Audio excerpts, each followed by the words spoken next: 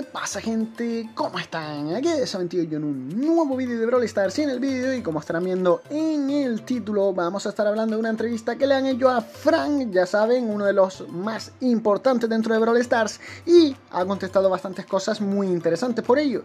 Te recomiendo que te quedes hasta el final, pero eso sí, antes de comenzar como siempre les recuerdo que pueden dejar un buen like que no les cuesta absolutamente nada y es totalmente gratis, solamente dándole un botoncito. Y la verdad es que me ayuda muchísimo a seguir trayendo todos estos vídeos diarios que les traigo al canal sobre Brawl Stars. A la misma vez, recuerden también activar la campanita con la versión de todas las notificaciones para que así YouTube les esté notificando de cuando subo vídeo. Que recuerden subo vídeos todos y cada uno de los días al canal, así que si YouTube no les notifica, solamente pásense por el canal y ahí podrán ver cada uno de los vídeos que he subido a diario. ahora sí gente, una vez dicho y aclarado todo esto, vamos para allá con el vídeo de hoy que como les he dicho al inicio le han hecho una entrevista bastante grande a Frank Vale, el líder, game leader o algo de eso de Supercell, bueno de Brawl Star en general, ¿vale? Con lo cual le han hecho preguntas bastante buenas que vamos a estar viendo en el vídeo de hoy. Intentaré también saltar muchas que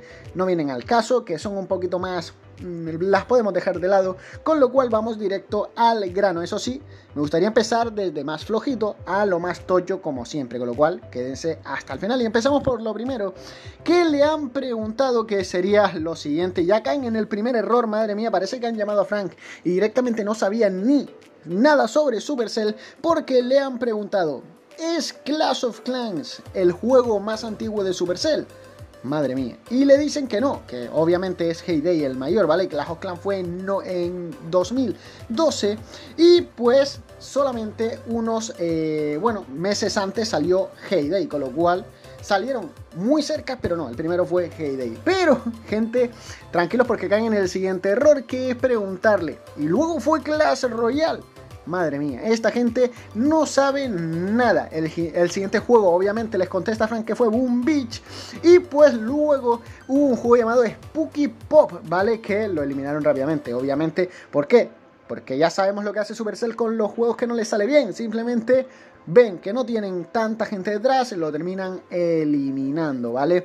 Con lo cual, ahí aparte hubieron varios lanzamientos más que acabaron eliminando hasta que luego llegó Clash Royale. Luego de Clash Royale también hubieron algunos lanzamientos ahí un poquito eliminados, digamos, y también estuvo Brawl Star en 2017, ¿vale? Que fue el lanzamiento eh, mundial, por cierto, en 2018, con lo cual, nada mal. Bueno, Ahora, una vez dicho los errores ya que le estuvieron preguntando, vamos con lo más toyo, ¿vale? Y es que, primero que nada, aquí vamos a saltarnos unas preguntas, ya que le preguntan, eh, por ejemplo, cómo ha sido su experiencia, eh, también si cambiarían algo que han hecho hasta hoy en día. Ustedes mismos pueden ir a ver toda esta entrevista, ¿vale? Pero, como les digo, vamos nosotros a lo más toyo, lo más que nos interesa a nosotros mismos. ¿Por qué? Porque a eso venimos todos, ¿no? Así que continuamos con lo siguiente y es que le preguntan el por qué creen que todo el mundo está apasionado por lo que ellos hacen, por sus juegos, a lo cual por la cara Fran le contesta que están haciendo bastantes juegos a largo plazo y que quieren hacer juegos para 10, 20, 30, 40 años más. Con lo cual, gente, vamos a tener bastantes juegos de Supercell a la larga, por lo que vemos. Sé que la contesta de Frank no tiene demasiado que ver con esto, pero al final es lo que le ha contestado. No sé si es que hay algún fallo aquí en el traductor o lo que sea, pero le han preguntado que el por qué creen que todo el mundo está apasionado con lo que hace y dice pues que si realmente vas un paso atrás y miras, pues llevan ya haciendo 10 años juegos de Supercell y que todavía tienen ya pensados algunos para dentro de bastantes años, con lo cual bastante bien. Incluso recordemos que hace bastante poco tiempo salía también un, eh, una persona de esta de Supercell a decirnos que tenían preparados muchos juegos para este año 2022. Yo no he visto ninguno, pero eso decían, ¿no? A ver si terminan sacándolos pronto porque la verdad llevan algunos en beta bastante tiempo. Aparte, no es que nos hayan comunicado gran, eh, bueno, grandes títulos, sino simplemente algunos extra, como les digo, y que todavía están en beta. Luego, también, gente, parece ser que le han preguntado a Frank que durante eh, su tiempo en la industria cuál es el mayor cambio que ha visto y dicen que cuando ellos trabajaban en PC, antes hacían juegos para PC, los de Supercell, pues que cambiaron a dispositivos móviles, obviamente, y fue cuando empezó a irles realmente bien. ¿Por qué? Pues nos dice que porque todo el mundo tiene un móvil y mucho más nos comunican que cuando el COVID, pues la cosa explotó para todos lados y pues se hicieron mucho más conocidos. Yo creo que ya antes del COVID eran muchísimo más conocidos, pero bueno, no pasa nada, ¿no? Con Clash of Clans empezaron a petarlo bastante fuerte, luego con Clash, eh, Clash of Clans, perdón, y Clash Royale pegaron otro boom y finalmente con Brawl Stars creo que lo han hecho bastante bien, pero bueno, quién sabe, ¿no? A lo mejor nos ha soltado esto de los PC por algo, ¿por qué? porque también parece ser que le han preguntado cómo ven lo de la industria de los móviles, ¿vale? Si creen que pueden predecir alguna tendencia sobre los juegos que van a sacar próximamente y demás, obviamente.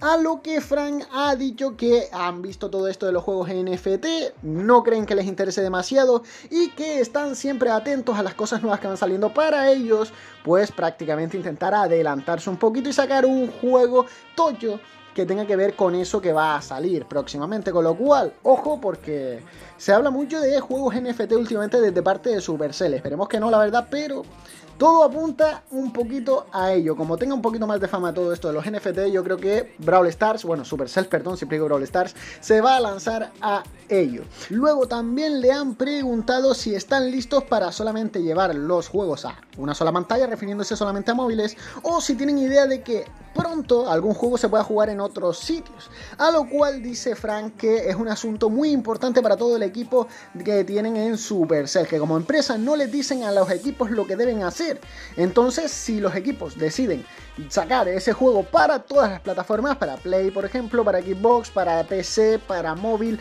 para todo, pues se saca, ¿vale? O si directamente dicen, mira, es más fácil en móvil porque es lo que estamos acostumbrados, pues también se termina sacando ahí, con lo cual no dejan esa puerta cerrada. Y ya, por último, también le dice que si tienen algún proyecto de móvil para el futuro, que pueda contarnos o alguno que pueda decirnos así por encima. A lo que Frank contesta, tenemos muchos proyectos en proceso, pero no hay nada que pueda decir. Ya sabemos como Supercell con todos sus secretos, sus juegos, como les he dicho antes, habían anunciado para este 2022 algunos, aún no se ha visto nada, así que esperemos verlo para ese 2023. Sigue hablando también mucho de un juego que podría ser como una segunda parte de Brawl Stars, ¿vale? Como hicieron con Clash of Clans y Clash Royale, pues Brawl Stars y Brawl no sé qué, ¿vale? como quieran llamarlo. Con lo cual, creo que está bastante interesante. Con lo cual, gente, hasta aquí la entrevista de Frank. La verdad, nos ha dejado caer bastante que podrían sacar juegos para otras plataformas y aparte también que tienen muchos juegos para el futuro, ¿vale?